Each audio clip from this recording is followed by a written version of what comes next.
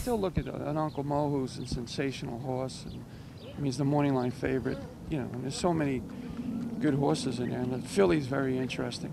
So, you know, it's a it's a very very unique classic, I think. You know, and I don't disregard those Europeans. You never have to. I know they run on the grass, but you never, you, you just can't. You know, that one horse from Australia, and there's a lot. Of, I mean, it's an interesting classic. You know, I'm rooting for my horse. I got a horse in there, believe it or not. It's No, 50 to 1 or 40 to 1, but he's a live long shot. You know, you can make excuses all the time for, for horses, but, you know, the main thing, I think he's got the rust off him. I think he's got a couple of races in him.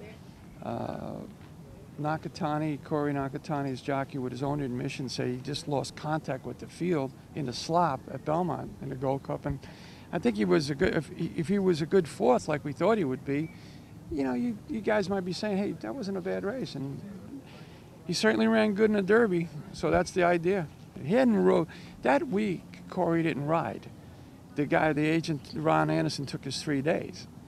So I'm not saying that's an excuse, but you know, you ride every day. You know what I'm saying? And and somehow the following week he won six races. I missed it by a week. You know, and he won two grade ones. So, you know, I'm happy, and I have a good relationship with Corey, and he's happy, and, and the horse is really, really training unbelievable. So, he may come back with his Derby race, you know, and like I say, he's a live long shot. And that's how, like I tell everybody, that's how what I've been doing it most of my career. You know, I can't look at statistics or I can't look at certain things. I mean, if I did that, I don't think Birdstone would have beat Smarty Jones at 37 to 1.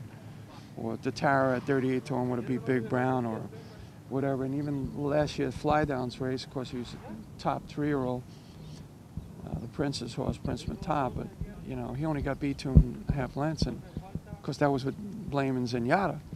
Zenyatta and Blame, everybody. And, uh, you know, the first turn, Trevor Denman said, uh, uh, Fly Down, take, you know, takes up. The kid, the jockey came over on him. So we, we're always, you know, we, this is the way we do things. I mean, I'm not making apologies to nobody. I mean, I got a long shot in the classic. My owner's the same way. He likes to run. Bob LaPenta likes to run in these races, and that's it. So I don't know.